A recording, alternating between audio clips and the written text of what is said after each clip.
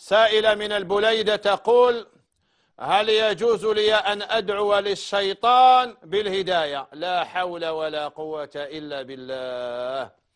لا لا زيد ادعي له يدخل الجنة وتكون أنت زوجته في الجنة ويكون نسيبك يعني وين وين هذو؟ ما أبو لهب وفرعون. هذو ثبتت نصوص بأنهم من أهل النار.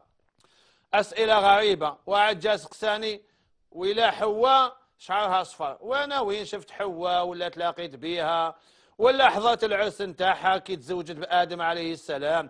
يا أخي تزوجوا في الجنة. واش دخلك أنت تحوس على حواء ولا شعرها أصفر ولا كحل ولا ولا كيفاه داير واحد سقساني الكلب تاع أهل الكهف. هل هو دوبرمان ولا شيامباجي واش دخلك انت في المسألة؟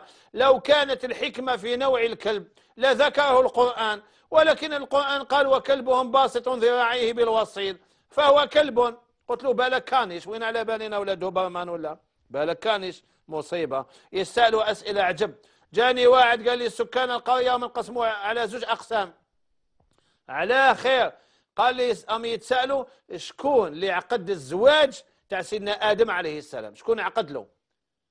قلت له يا أخي صب وش وأنتم واش قلتوا؟ قال النص تاع القريه يقول سيدنا رسول الله. والنص الآخر يقول لا لا الزوج بها بلا عقد. قلت له يا سبحان الله. لما ربي قال له هذه زوجك. اسكن أنت وزوجك الجنة. كي قال ربي اسكن أنت وزوجك. هو ربي هو اللي عقد له. واش يسحق إمام يعقد له؟ ربي قال له هذه مرتك هذه زوجتك. ثم أنتم كيف تنقسموا على مسألة كما هذه؟ واش دخلكم شكون عقد الآدم عليه السلام؟ ماشي رديتونا 100 سنة للوراء ماشي 200 سنة ماشي 1000 سنة. رديتونا إلى إلى آدم عليه السلام. وين رايحين بهذه الأسئلة العجيبة والغريبة؟ ما الشيخ عبد الرحمن الجلالي رحمه الله سقساه واحد. قال له صليت فوق القرمود ولا صلاة صحيحة؟ قالوا واش اداك للقرمود؟ يا أخي أنت خدمتك تصلي. علاه طلعت للقرمود تصلي واش اداك للقرمود؟